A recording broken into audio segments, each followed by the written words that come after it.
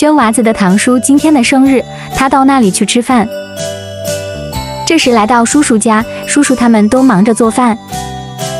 土鸭子忙完了，就聚在那里休息。卤的猪头黄黄的，挺新鲜，看起来都有食欲。堂哥和阿姨忙个不停，炒的菜都用柴火，肯定很美味。很快做了一桌美味的菜，样样都是好吃的，又充足。轩娃子吃得津津有味，想吃的菜自己夹。饭吃好了就回家，看那样子好高兴，美味的菜吃得很舒服。